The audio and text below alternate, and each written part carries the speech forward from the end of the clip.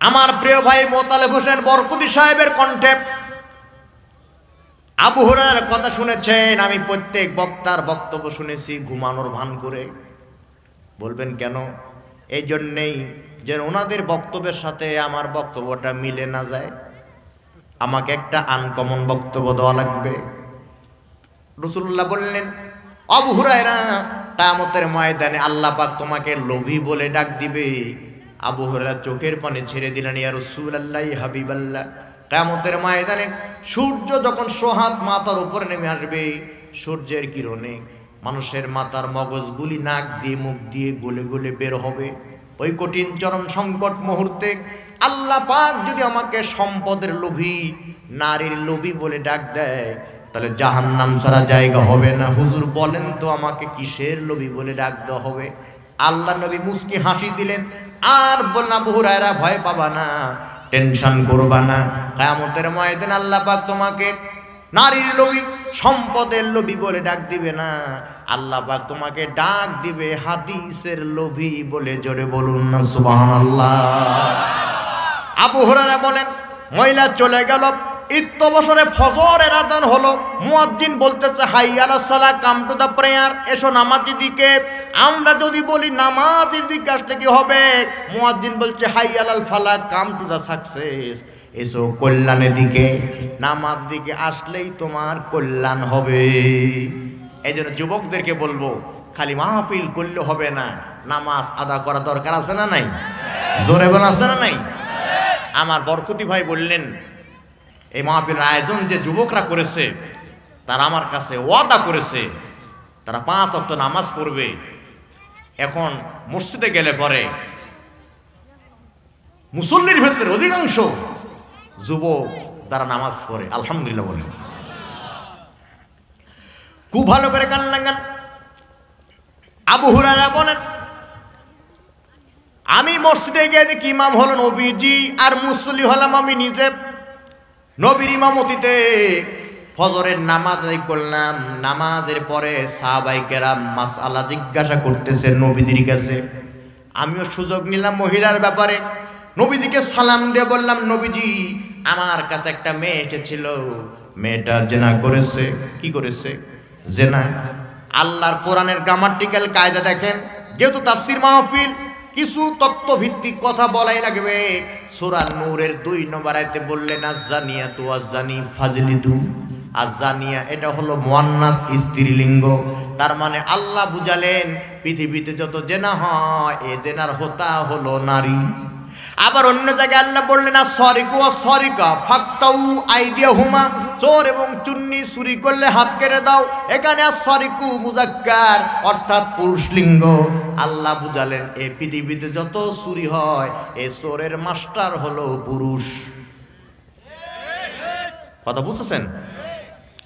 আবার আমরা মাহফিলে আসলে পরে পরিচালক কানে কানে বলে, সভাপতি সাহেব কানে কানে বলে, হুজুর একটু পর্দার ওয়াজ করবেন, পর্দার ওয়াজ করবেন, নারী যেন পর্দা করে। কিন্তু আমরা কোরআনুল কারিমের সুরা নূরের তিরিশ নম্বর আয়াত পড়ে দেখি, আল্লাহ আগে পুরুষকে পর্দা করতে বলেছেন। সুবহানাল্লাহ বলেন। আল্লাহ বলছেন, কুল্লিল মুমিনিনা ইয়াগুদ্দু আমরের সিগা মিনাবু সরিহিম হে দুনিয়ার পুরুষরা নারী দেখে চক্ষু নিম্নগামী করো। এরপর আবার বলা হলো, কুল্লিল মুমিনাতি ইয়াকদুদুনা মিন আবসারিহিন্না। হে দুনিয়ার নারীরা, পুরুষ দেখে চক্ষু নিম্নগামী করো। এখন পুরুষ যদি নারী দেখে, নারী যদি পুরুষ দেখে চক্ষু নিম্নগামী করে, তাহলে জেনা এমনি বন্ধ হয়ে যাবে। দরকার সূরা নূরের 30 নম্বর আয়াতের আইন। কথা ঠিক না ঠিক? আমার ভাইয়েরা,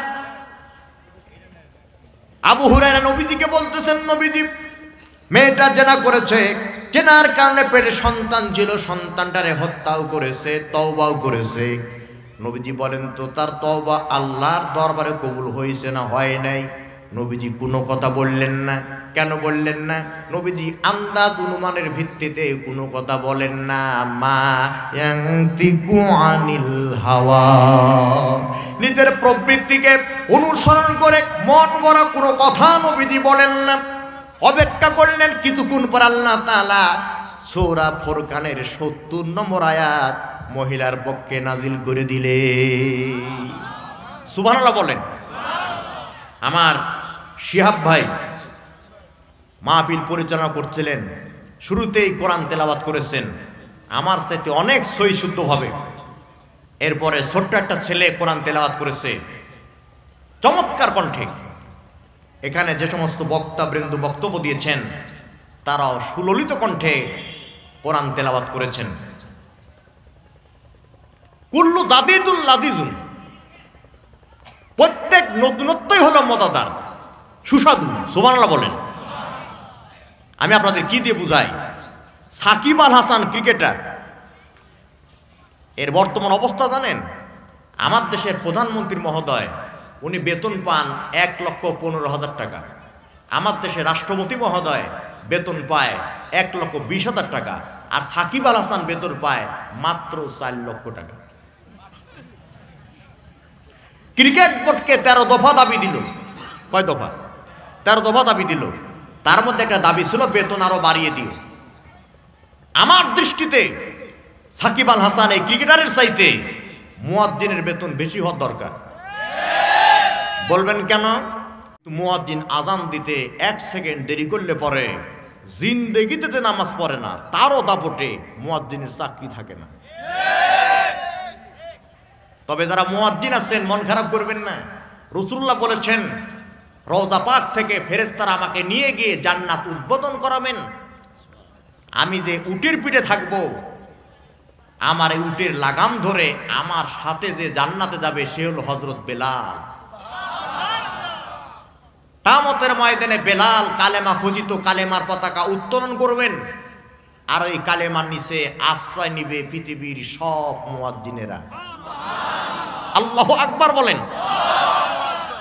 বেলালের নাকের বারান্দা ঠিক ছিল না, কপালের সেন্টার ঠিক ছিল না, আজান শুদ্ধ হবে দিতে পারে না বলে মুয়াজ্জিনে চাকরিও থাকে না। কিন্তু কপাল ভালো। আল্লাহ পাক জ্বালিয়েছিল তার দেহে কোরআনের আলো। নবীজি যেই মসজিদের ইমাম, আল্লাহ বেলালকে সেই মসজিদের মুয়াজ্জিন বানিয়ে দিয়েছিল। তবে ইমাম সাহেব, মুয়াজ্জিন সাহেব, মাদ্রাসার মোহতামিম সাহেব তাদের বেতন কম এই জন্য আমরা মন খারাপ করি না। বলবেন কেন? সাকিব আল হাসান এই ক্রিকেটার, ক্রিকেট খেলে বিশ্ব চ্যাম্পিয়ন হতে পারে নাই। বাংলাদেশ জাতীয় ফুটবল দল ফুটবল খেলে বিশ্বকাপে চান্স পায় নাই। কিন্তু এই এই যে হরিনারায়ণপুরের হাফিজে মাদ্রাসা থেকে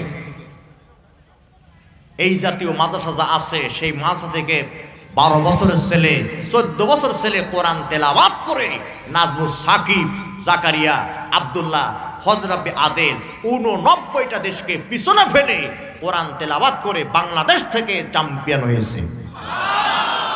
আল্লাহ আকবার বলেন।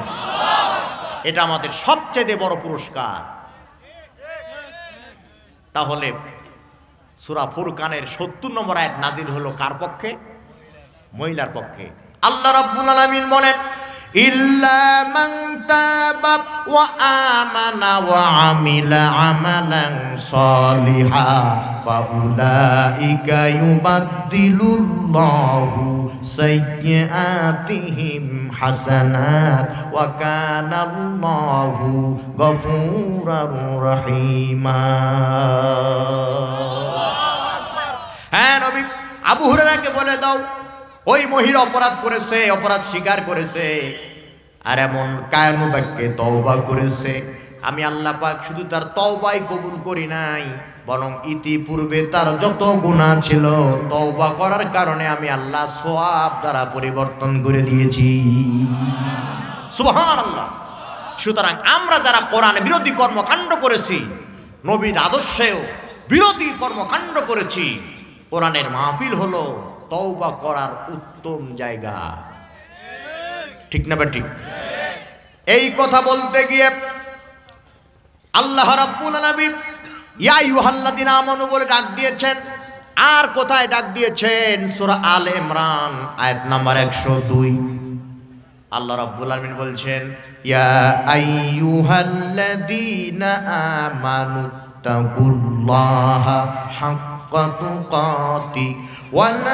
তামুতুন্না ইল্লা ইল্লা ওয়া আনতুম মুসলিমুন আল্লাহ বলেন, ইমানদারেরা, আমাকে ভয় করো, ভয় করার মতো।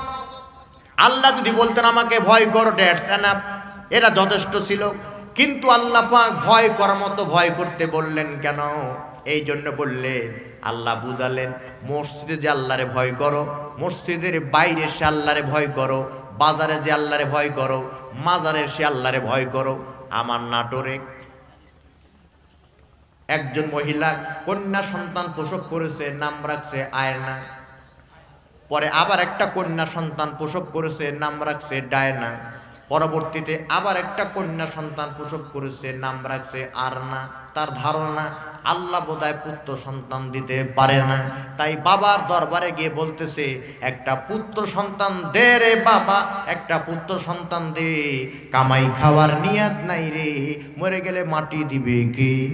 কেন নাটোরের মানুষ সব কি একসাথে মারা গেছে? আপনি ভালো করে বোঝেন, মাজারের বাবা যদি কিছু দিতে পারে, তাহলে মাজারের চারপাশে ফকির ভাঙ্গা প্লেট নিয়ে আসে না নাই? তাহলে ফকিরের প্লেট ভর্তি টাকা দিলেই তো ওই ফকিরের আর ভিক্ষা করা লাগে না।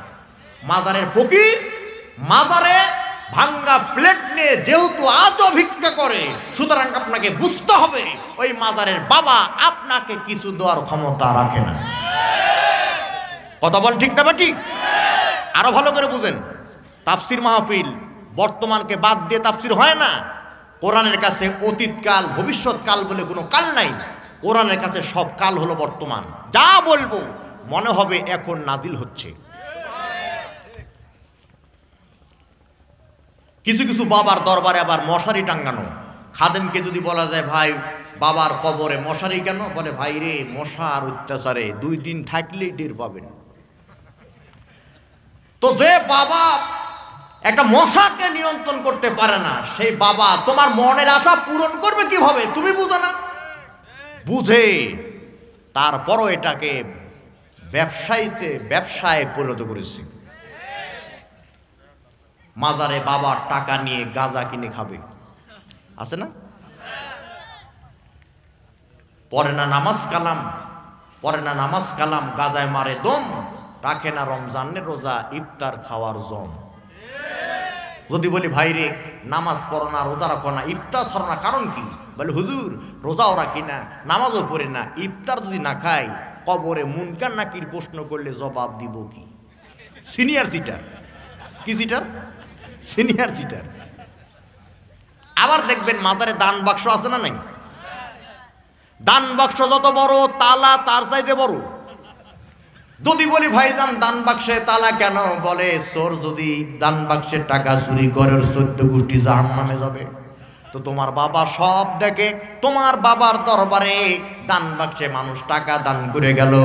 চোর চুরি করল, এটা দেখল না কেন? এতে বোঝা গেল বাবা কিছু দেওয়ার ক্ষমতা রাখে না। সব দেওয়ার মালিককে ধরে বলেন, সব দেওয়ার মালিক কে?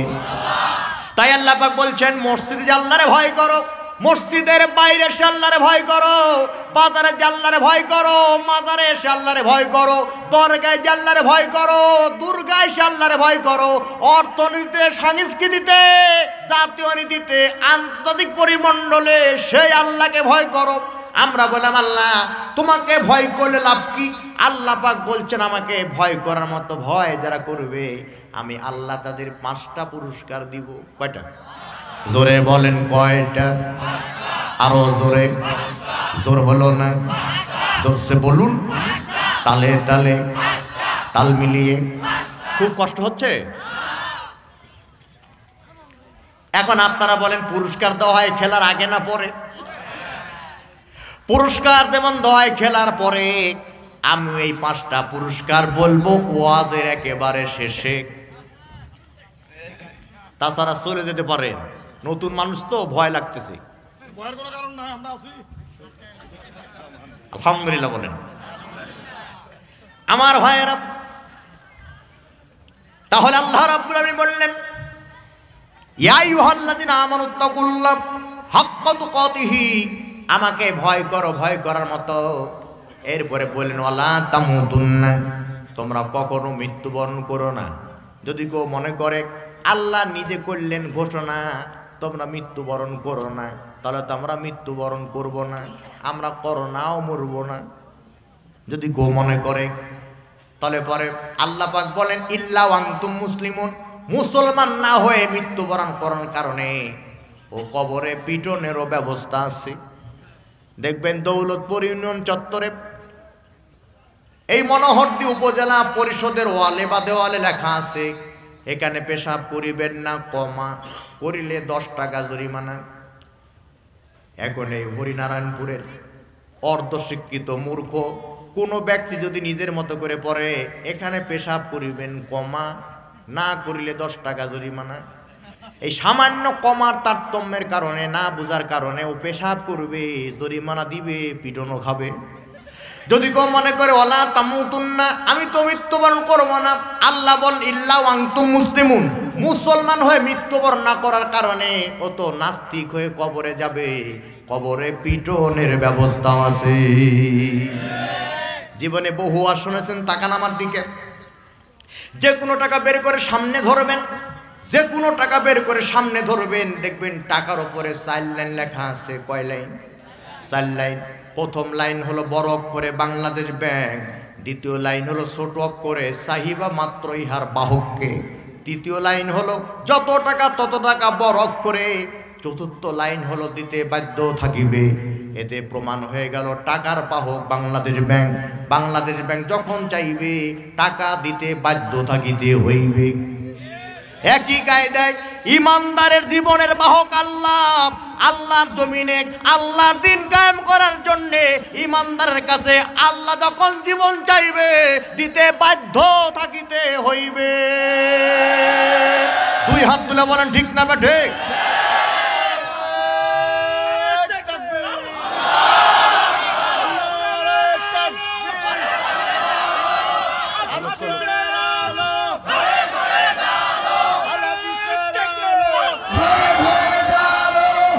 আসতে বরকতি ভাই বলতে চলুক তাহলে এখানে বরকত আছে না নাই? আরও ভালো করে বুঝে নেন। পাঁচশো টাকা নোট নিয়ে দৌলতপুর বাজারে গেলেন। দোকানদারকে বলেন দোকানদার আমাকে দশ কেজি পেঁয়াজ দাও আর বাকি টাকা ফেরত দাও। বর্তমানে দৌলতপুর বাজারে পাঁচশো টাকায় দশ কেজি পেঁয়াজ হবে তো? হবে। আজ থেকে ছয় মাস আগে। হইছে না। তাহলে একটা চুটকি শুনে নেন? গতকালকে ছেলে বিয়ে করেছে, আজকে সকালে বৌমা তরকারি কাটতেছে। আর শাশুড়ি বলছে, বৌমা, দুইটার বেশি না, একটা হলে ভালো হয়।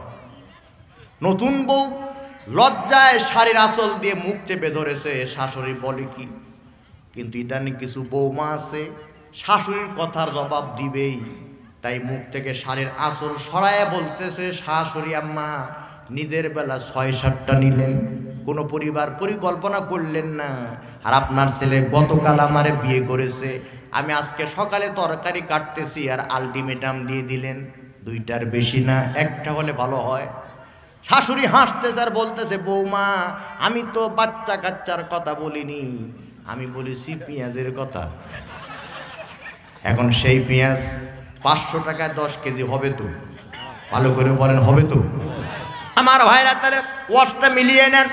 পাঁচশো টাকার নোট নিয়ে দৌলতপুর বাজারে গেছেন, দশ কেজি পেঁয়াজ নিয়ে দোকানদারকে পাঁচশো টাকার নোট দিয়েছেন। দোকানদার টাকাটা হাতে নিয়ে দেখতেছে, টাকার একদিকে সাপ আছে। এরকম সাপ আছে একদিকে আর একদিকে সাপ নাই। একদিকে লেখা আছে আর একদিকে লেখা নাই। এই টাকাকে নাটোরে জাল টাকা বলে এই টাকা কি নরসিংদীতে চলে। বলেন তো তার এই টাকাকে কি টাকা বলে? জাল টাকা। ভালো করে বুঝে নেন টাকার একদিকে ছাপ আছে আর একদিকে ছাপ নাই একদিকে লেখা আছে আর একদিকে লেখা নাই। তাই টাকা যদি জাল টাকা হয় ইমানদার দাবি করো মুসলমান দাবি করো কোরআনের একদিকে মানো আর একদিকে মানো না। কোরআনের নরম মানো গরম মানো না। তুমিও টাকার মতো জাল মুসলমান।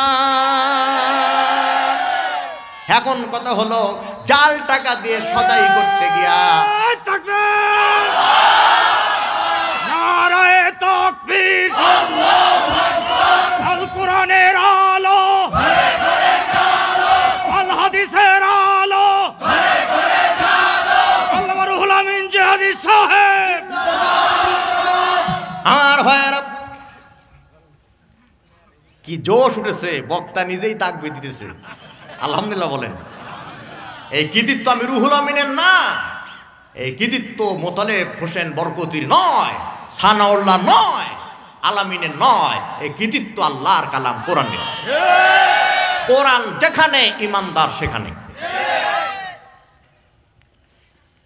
আরেকটু বলে দিই কান্না গান চার টাকা দিয়ে সদাই করতে গিয়ে ধরা গেলে পরে ধোলাই আছে না নাই?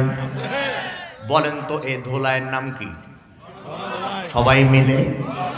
তাহলে জাল টাকা দিয়া সদাই করতে গিয়ে ধরা খেলে যেমন গণ ধোলাই খেতে হয় বা গণ ধোলাইয়ের ব্যবস্থা আছে। জাল মুসলমান কবর গেলে পরে ধোলাইয়ের ব্যবস্থা আছে না নাই? এই কথা বলতে গিয়ে আল্লাহ রাব্বুল আলামিন সূরা আল ইমরানের 102 নম্বর আয়াতে, ইয়া আইয়ুহাল্লাযিনা আমানু বলে ডাক দিলেন, সুবহানাল্লাহ বলেন। এবার আসেন। রাত তো গভীর হয়ে যাচ্ছে। আমি যে আয়াত তেলাওয়াত করেছি, সেখানে কয়টা বিষয়ে বক্তব্য দেওয়া হয়েছে? তিনটি, এক নাম্বার ইয়াইউ হাল্লাদিন আমানু, হে ইমানদারগণ আর হে ইমানদার ইমানদারগণ বা ইয়াইউ হাল্লাদিন আমানু, এইভাবে কোরআনে আল্লাহ ডাক দিয়েছেন উননব্বই জায়গায়। কত জায়গায়? কেবল তিনটা আয়াত পড়েছি। আমি যদি একের পর এক আয়াত পড়তে থাকি, তাহলে বাকি দুইটা পয়েন্টে কথা বলা কঠিন হয়ে যাবে। এই জন্য সংক্ষেপ করে বলছি। এখন বলেন তো ইমানের পথে বলিয়ান থাকলে পরে বিপদ আছে না নাই?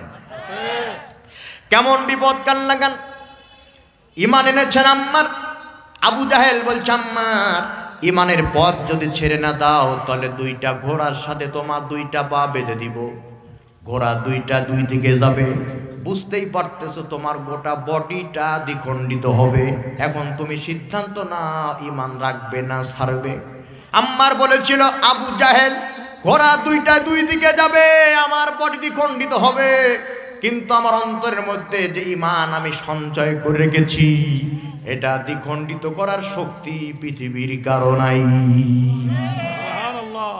আমার মা বোনদেরকে বলি ইমান এনেছেন সুমাইয়া আবু জাহেল বলে সুমাইয়া ইমানের পথ যদি ছেড়ে না দাও লজ্জাস্থানে আঘাত করে দুনিয়া থেকে বিদায় করে দেব। সুমাইয়া বলেছিল, আমাকে দুনিয়া থেকে বিদায় করতে পারবে, কিন্তু আমার ইমান বিদায় করতে পারবে না। আবু জাহেল লজ্জাস্থানে আঘাত করল। সুমাইয়া দুনিয়া থেকে বিদায় নিল, কিন্তু ইমানের পথ ছেড়ে দেয় নাই। মিশরের নির্বাচিত প্রথম প্রেসিডেন্ট ডক্টর মুরসি ইমানের পথে বলিয়ান ছিলেন বলে তাকে জেলখানায় বন্দি করা হলো। মানবতর জীবন যাপন করতেছিলেন। একদিন কারা কর্তৃপক্ষকে বললেন আমাকে একটা কোরআন দাও আমি একটু কোরআনটা দেখতে চাই। কারা কর্তৃপক্ষ তাকে কোরআন দেয় নাই? ডক্টর মুরসি বলেছিল তোমরা আমাকে কাগজের লেখা কোরআন দেখতে পড়তে দাও নাই তাতে কি আছে? তাতে কি হয়েছে? তোমাদের জানা উচিত তোমাদের মনে রাখা উচিত গোটা তিরিশ পারা কোরআন আমার সিনায় আছে। আমার ভাইয়েরা doctor Apia Siddika neuroscientist PhD holder হাফেজ কোরআন। দু হাজার তিন সালে কিডন্যাপ করা হলো। দু হাজার আট সালে পাওয়া গেল। উলঙ্গ করা হলো। উপর্য পরিদর্শন করা হলো। কোরআনের পাতাগুলি ছিঁড়ে ছিঁড়ে পায়ের তলে ফেলা হলো। পরবর্তীতে আমেরিকার একজন সৈন্যকে হত্যার অভিযোগে তার বিরুদ্ধে মামলা হলো। আদালতের মাননীয় বিচারক তার বিরুদ্ধে রায় দিল। মাত্র ছিয়াশি বছরের জেল। কত বছর? ছিয়াশি বছরের জেল। মাননীয় বিচারক বলতেছে ডক্টর আপিয়া সিদ্দিকা, এই রায়ের ব্যাপারে তোমার তাৎক্ষণিক প্রতিক্রিয়া কি? তোমার মন্তব্য কি? তোমার অভিব্যক্তি কি? আফিয়া বলেছিল, তোমার আদালত তো হলো জালিমের আদালত। অন্যায়কারীর পক্ষে তোমার আদালতে ন্যায় বিচার পাবো না। আমাকে যে উপর্যুপরি জেনা করা হয়েছে, এই মামলা আমি আল্লাহর আদালতে দিয়েছি। আমি দুনিয়াতে বেঁচে আছি, পরকালে বিচার পাওয়ার আশায়। আল্লাহ আকবার বলেন।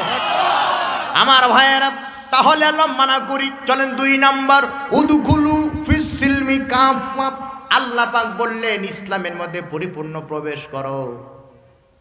একটা পায়জামার কয়টা পা? যেভাবে বললেন, তাতে মনে হলো, এখানে পায়জামা পরার লোকের চাইতে প্যান্ট পরার লোকের সংখ্যাই বেশি। আচ্ছা বলেন তো একটা প্যান্টের কয়টা পা? একটা প্যান্টের দুইটা পা, একটা পায়জামার দুইটা পা, আমার আপনার দুইটা পা। তাহলে প্যান্টের দুই পায়ে আমার আপনার দুই পা, পায়জামার দুই পায়ে আমার আপনার দুই পা দিলেই নিরাপদ। তড়িঘড়ি করে দুই পা একদিকে দিলে পারে বিপদ। হুসটকে পড়ে গিয়ে দাঁত ভাঙার সম্ভাবনা আছে না নাই? তেমনি ইসলাম না বুঝে, ইসলাম নামক গাড়িতে তড়িঘড়ি করে চললে পরে ইসলাম নামক গাড়ির যাত্রী হওয়ার পরেও আপনাকে জাহান নামে যাওয়া লাগতে পারে। এই জন্য পরিপূর্ণভাবে ইসলামে প্রবেশ করা লাগবে। ইসলামের ব্যাপারে আল্লাহ নিজেই ওয়াজ করলেন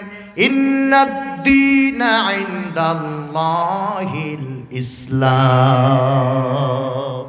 আমার কাছে একমাত্র, কেবলমাত্র গ্রহণযোগ্য, নির্ভরশীল, বিশ্বাসযোগ্য, নিঃসন্দেহ, সন্দেহমুক্ত জীবন বিধানের নাম হলো ইসলাম। এরপর আল্লাপাক বললেন ওয়ামাইয়াবতাগি গায়রাল ইসলামি দীনান ফালাইয়ুকবালা মিনহু ওয়া হুয়া ফিল আখিরাতি মিনাল খাসিরিন. আল্লাহু আকবার। ইসলাম ছাড়া অন্য জীবন বিধান যারা তালাশ করে বেড়াবে খুঁজে বেড়াবে এহকাল পরকাল তারা ক্ষতিগ্রস্ততার মধ্যে নিমজ্জিত হবে। সুরা মায়েদার তিন নম্বর আয়তের শেষাংশে বলা হলো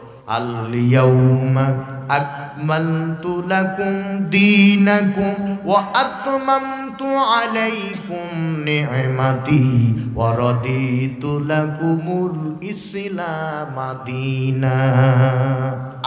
বলছেন, আমার কাছে তো নিয়ামত ছিল। আমি কোরআন নাদিল করে তাম্মাদ বিল খায়ের করে দিয়েছি। আমার কাছে যত নিয়ামত ছিল, কোরআন নাদিল করে ফুলফিল করে দিয়েছি। আমার কাছে যত নিয়ামত ছিল, কোরআন নাদিল করে আমি পরিপূর্ণ করে দিয়েছি। আর ইসলামটাকে জীবনের উদ্দেশ্য হিসাবে আমি আল্লাহ নিজেই গ্রহণ করেছি। ইসলামটাকে জীবনের উদ্দেশ্য হিসাবে আল্লাহ নিজে গ্রহণ করেছেন। আর আমরা মুসলমান দাবি করি, ইসলামটাকে জীবনের উদ্দেশ্য রূপে গ্রহণ করি নাই বলে বিজাতীয় কর্তৃক নির্যাতন আছে না নাই? নিপীড়ন আছে না নাই? জুলুম আছে না নাই? আসল ইসলাম বুঝতে পারি নাই। ঠিক না বেটি? এখন ইসলামের ভেতরে প্রবেশ করেছেন সৈয়দেন আবু বকর। রসুল্লাহ বললেন আর হামুম্মাতি বিউম্মাতি আবু বকর। আমার যত সাহাবি আছে, সব সাহাবির ভেতরে নরম এবং কমল হৃদয়ের সাহাবি হল আবু বকর। মসজিদ নবীতে নবীদের ইন্তেকালের পরে এক বছর আবু বকর ইমামতি করেছেন। নামাজের দ্বারায় এমনভাবে কোরআন তেলাওয়াত করতেন। কোরআনের তেলাওয়াতের কারণে চোখ দিয়ে পানি এসে যেত। কান্নার আওয়াজে পিছনের মুসল্লিরা তেলাওয়াত শুনতে পেত না, এত দরদ দেওয়া বকর কোরআন পড়তেন। আর আমাদের কিছু মুসল্লি আছে, যেই মসজিদ ইমাম দ্রুত তারাবি পড়তে চায় যেই মসজিদ ইমাম দ্রুত তারাবি পড়াতে পারে, যুবকরা সেই দিকেই ছুটে। কোনো দরদ নাই। খুব ভালো করে কান লাগান। সে আবু বকর বলছে, নবী গো, নামাজ পড়লে পরে মানুষ এক দরজাতে জান্নাতে যাবে, রোজা রাখলে পরে মানুষ আর এক দরজাতে জান্নাতে যাবে, জাকাত দিলে পারে মানুষ অপর দরজাতে জান্নাত যাবে। ও নবী, আমি আপনার কাছে জানতে চাই, এই পৃথিবীতে কি এমন কোনো লোক নাই যে জান্নাতের সব দরজাতে প্রবেশ করবে? নবীজি মুস্কি হাসি দিলেন আর বললেন, জান্নাতের সব দরজাতে প্রবেশ করার অধিকার রাখে আমার এক নাম্বার সাহাবি আবু বকর। সুবহানাল্লাহ বলেন। আমার ভাইয়েরা, নবীজি তৌহিদের দাওয়াত, রেসালাতের দাওয়াত, আখিরাতের দাওয়াত দেবারি ফিরলেন। আম্মাদান আয়েশাকে সালাম দিলেন।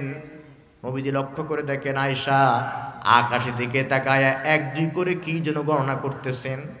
নবী আমার আয়েশাকে বললেন, আয়েশা, বারবার লক্ষ্য করে দেখলাম আকাশের দিকে তাকায়া কি যেন গণনা করতেছো।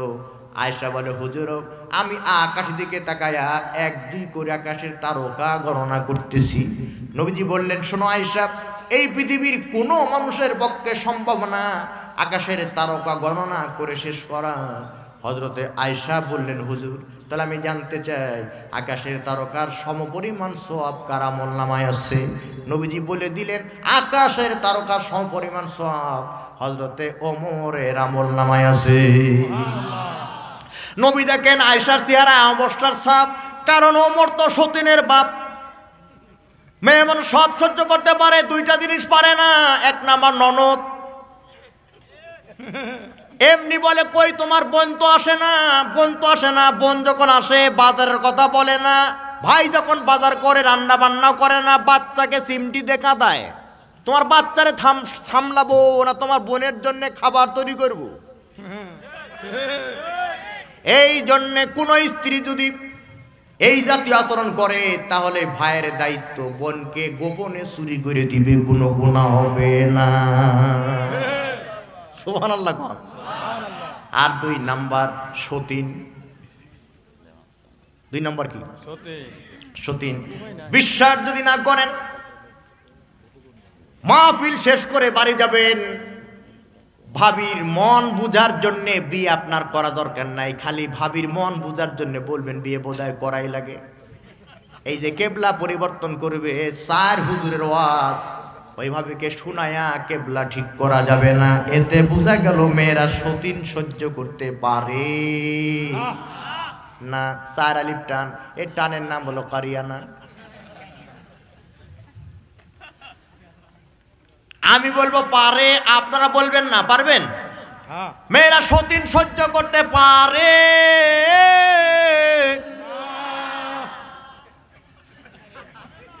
খুব কষ্ট হচ্ছে? আমার ভাইরা কান্না কান। নবী বলে আয়সা বুঝতে পেরেছি। আমি তোমার বাবা আউবা করেন নাম না বলে ওমরের নাম কেন বললাম? এই জন্য বুঝি মন খারাপ। শোনো আয়সা ওমরের তামাম জিন্দিগির নেক যদি মিজানের এক পাল্লায় দেওয়া হয়, আর তোমার আব্বা আবু বকরের এক রাতের এক ঘণ্টার ইবাদাত যদি মিজানের অপর পাল্লায় দেওয়া যায়, ওমরের তামাম জিন্দিগির নেকের চাইতে তোমার আব্বা আবু বকরের এক রাতের এক ঘণ্টা ইবাদতের পাল্লা আল্লাহর দরবারে বেশি ভারী হয়ে যাবে। আয়সা খুশি হয়ে গেলেন। ডাক দিয়ে বলছে, নবী গো কোন রাতে নবীজি বলেন দারুণ না দুয়ার বৈঠকে চোদ্দ জন কাপের লিডার সিদ্ধান্ত নিয়েছে, আমাকে হত্যা করবে। আর আল্লাহ সুরা আনফালের তিরিশ নম্বর আয়াত নাদিল করে, তাদের সিদ্ধান্ত আমাকে আগাম জানিয়ে দিয়েছে। সুবহানাল্লাহ বলেন ওয়া ইদ ইয়ামকুরু বিকাল্লাযীনা কাফারু লিয়ুসবিতুকা আও ইয়াকতুলুকা আও ইউখরিজুকা ওয়া ইয়ামকুরুনা ওয়া ইয়ামকুরুল্লাহ। ওয়াল্লাহু খায়রুল মাকিরিন। আল্লাহু আকবার। আল্লাহ আকবার। হ্যাঁ নবী ওরা তোমাকে হত্যা করতে চায় ওরা তোমাকে গৃহে বন্দি করতে চায়। ওরা তোমাকে দেশ ছাড়া করতে চায়। আমি আল্লাহ চাই তুমি করবে হিজরত, আর আমি আল্লাহ বাড়িয়ে দেব তোমার ইজ্জত। ইজ্জত দর মালিককে কুওয়াতা লিল্লাহি জামিআ। সকল ইজ্জতের মালিককে জোরে বলেন কে? আমার ভাইয়েরা, নবীজি আলীকে ডাকলেন, আলী রে, পারবে নাকি? আমারই ঘরে আমারই চাদর গায়ে দিয়ে ঘুমাবে। লোকেরা তোমাকে নবী মনে করে হত্যাও করতে পারে, পারবে নাকি? আবু বকর জবাব দিয়েছিল, ইয়া রাসূলুল্লাহ, হাবিবাল্লাহ, আমার বয়স যখন ছয় বছর, তখন আমি আপনাকে নামাজ দেখেছিলাম। আমি আলী বলেছিলাম, নবীজি, আপনি কি করতেছেন? আপনি বলেছিলেন, নামাজ পড়তেছি। আমি আলী বলেছিলাম, আমিও নামাজ পড়ব। আপনি বলেছিলেন, যাও তোমার বাবার কাছ থেকে অনুমতি নিয়ে আসো। আমি আলী সেদিন বলেছিলাম, এই পৃথিবীতে আল্লাহ পাক আমাকে প্রেরণ করার সময় বাবার কাছে অনুমতি নাই নাই। ওই আল্লাহর সেজদা দিব, বাবার কাছে অনুমতির প্রয়োজন নাই। কিন্তু সেই আলীর উত্তরসূরি যুবকেরা রাস্তা যখন হেঁটে যায়, আজান হয়, ইমামের সামনে পড়ে। ইমাম সাহেব যখন বলে, চলো যাই নামাজে। যুবকরা ফতুয়া দেয়, আমার কাপড় ঠিক নাই। তুই পুরুষ মানুষ, তোর কাপড় ঠিক নাই কেন রে? কথা বলেন। দাঁড়ায়া ওয়ালকে সাক্ষী রেখে পেশাব করে, আবার ঘুরায় ফিরায়। যদি বলি, মিয়া, দাঁড়ায় পেশাব করো, কবিরা গুনা।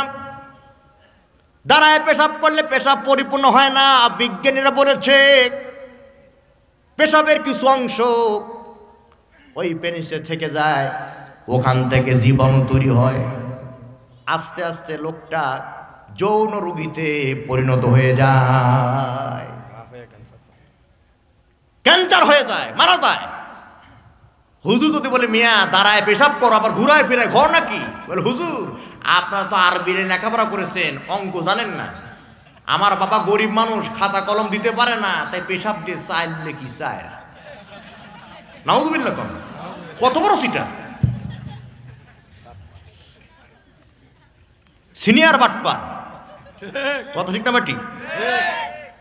আমার ভাইয়ের আল্লাহ নবী আলীকে বিছানা শোয়া গায়ে দিলেন চাদর, করলেন একটু আদর, গায়ে দিলেন আতর, আলীর বেড়ে গেল কদর। নবীজি ঘর থেকে বের হবে। আল্লাহ পাক বলে, নবী গো কাফি বেঈমানেরা তোমার ঘরের চতুর্দিকে অস্ত্র শস্ত্র সহ তোমাকে অ্যাটাক করেছে, আক্রমণ করেছে, তোমাকে গ্রেপ্তার করবে, ধরে ফেলবে। হ্যাঁ নবী, তোমার তো কোনো অস্ত্র নাই। আমি একটা অস্ত্র দিলাম। অস্ত্রের নাম হলো বালি। বিসমিল্লা বলে সিটাই দিবে খালি। লাগবে না ডালিকে ডালি। দেখবে পড়ে গেছে হালিকে হালি। ওইদিকে তোমার ঘরে তোমার চাদর গায়ে দিয়ে ঘুমিয়ে আছে। নাম হলো হজরত জোরে কন। হজরত আলী। বিশ্বনবী সামান্য বালি হাতে নিয়ে বিসমিল্লা বলে ছিটাই দিলেন। কেউ বা চোখ নারে কেউ বা চোখ মারে, কেউ বা লক্ষ্মী টেরি কেউ বা দের বেটারি, কেউ বা পড়ে গেছে, কেউ বা মরে গেছে। নবীজি তাদের চোখের আড়ালে বেরিয়ে এসেছে। আল্লাহ পাক বল নবী গো আমি তোমাকে একটা অস্ত্র দিলাম অস্ত্রের নাম কি? নবী বলে বালি আল্লাহ কয় না ইজ রমাইতা ওয়া মা রমাইতা ওয়ালাকিন্নাল্লাহ রমা। ওইটা শুধু নয় রমা ওইটা ছিল বর্তমান জামানার বুলেট বোমা। কাউকে করেনি ক্ষমা জোরে বলুন সুবহানাল্লাহ। প্রিয় ভাইয়েরা গভীর অর্থনীতি বিশ্বনবী আউবাকরের দরজায় গিয়া আস্তে করে করাঘাত করলেন। আর বল আউবকর সঙ্গে সঙ্গে দরজা খুলে গেল। নবী আমার ডাক দিল আউবকর কিংকর্তব্য বিমূর হয়ে গেলাম। চতুর্দিকে নিস্তব্ধ, নিরবতা। মানুষেরা ঘুমে মগ্ন। দরিয়ার মাছেরা পর্যন্ত ঘুমে ব্যস্ত। এমন একটা মুহূর্তে তোমাকে আস্তে করে ডাক দিলাম। তুমি দরজা খুলে দিলে তুমি কি ঘুমাও নাই?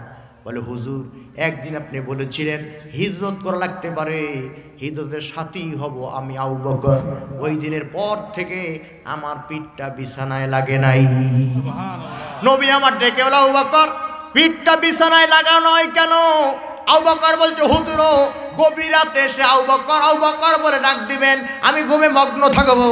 আপনার ডাকে জাগ্রত হতে পারব না, আপনি বিব্রত হবেন। আর আপনার কণ্ঠের আওয়াজ শুনে কাপেররা ধরে নিয়ে গিয়ে নির্যাতন চালাবে। কাপের আপনাকে নির্যাতন চালাবে। এই কষ্ট সইবার চাইতে আপনার জন্য রাত্রি জেগে অপেক্ষা করা আমার জন্য অনেক আরামে। নবী বলে আয়সা ওই রজনীতে আল্লাহ তাআলা তোমার আব্বা উবা করে।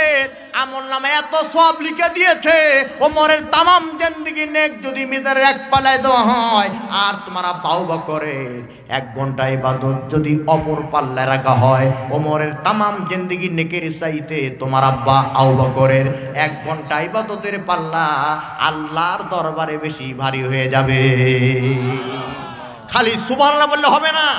আপনাকে বুঝতে হবে, রাতের পর রাত একজন ব্যক্তির জন্য জাগ্রত থাকা তখনই সম্ভব। ব্যক্তি যখন উদ্গুল সিলমি কাফা ইসলামের মধ্যে পরিপূর্ণ প্রবেশ করে। কথা ঠিক আছে না নেই? আসেন ইসলামের দ্বিতীয় খলিফা অমর নাঙ্গা তলোয়ার নিয়ে গেলে নবীকে হত্যা করার জন্য। কাহিনী আপনারা জানেন। সাহাবাই কেরাম বলতেছে, নবী গো, পারিবে না, পারে অনুমতি দেন। আমরা ওমরের গতি রোধ করব। নবীজি বললেন, দাঁড়াও। ওমর একেবারে নিকটে আসলো। সাহাবাই কেরাম বলতেছে, হুজুর আত্মধৈর্য ধারণ করতে পারি না, ধৈর্যের বাঁধ ভেঙে যায়। আমরা বেঁচে থাকতে ওমর আপনাকে নির্যাতন করবে, এই লজ্জা রাখব কোথায়? আল্লাহ বলে, নবী গো, আবেগ আপ্লুত হয়ে ভালোবাসার কারণে সাহাবিরা ওমরের গতি রোধ করতে চায়। কিন্তু আমি তোমার দোয়া কবুল করেছি। কারণ তুমি দোয়া করেছিলে আল্লাহ হুম্মা ইহিদি উমরাইন। আল্লাহ, তুমি দুই ওমরকে হেদায়েত করে দাও। এক ওমর হলো ওমর আবনে হেসাম, আর এক ওমর হলো ওমর আবনুল খাত্তাব। এই ওমর আবনে হেসাম হলো আবু জাহেল। আর ওমর আবনুল খাত্তাব মানে খাত্তাবের বেটা হলো ওমর। নবী ওমর এসেছে। তোমার কাছে তোমার মস্তক খণ্ডন করার জন্য নয়, বরং তোমার কাছে কালেমা পড়ে ইসলামের মধ্যে দীক্ষিত হবার জন্যে। ওমর নবীদের নিকটে আসলেন, চোখে চোখ পড়ে গেল, ওমরের হাত থেকে তরবারি পড়ে গেল। ওমর ডাক দেব নবী এই চোখ যদি আপনার চোখে আগেই পড়ে যেত, তাহলে ইসলামের সুদা ওমর অনেক আগেই পান করত। রসুল্লাহ বললেন খেয়ারা কুম্পিল জাহিলিয়াত খেয়ারা কুম্পিল ইসলাম।